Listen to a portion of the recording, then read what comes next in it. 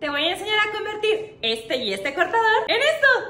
Este Lily Tip lo hago cuando quiero crear una figura nueva desde dos cortadores, a lo que yo lo llamo las Franken Cookies. Tomo la parte que quiero de uno de los cortadores y creo una plantilla que voy a recortar posteriormente en masa y hornearlo. Se recorta con mucho cuidado con un exacto. Cuida que todos los bordes queden lisitos con tu dedo para que el corte se vea perfecto. En mi caso, corté la niña con el cortador de galleta y realicé otros cortes con el otro cortador para separar el cuerpito. Coloco el cuerpito de calabaza de mi Franken Cookie y lo pego con un poquito de leche. Asegúrate de alisar muy bien con tu dedo las uniones para que queden fundidas una vez horneadas y no se te vaya a separar. Y listo, una vez horneada puedes decorarla muy bonita y no se verá ninguna unión. Comenta si te gustó este Lily Tip y si deseas ver cómo la decoramos.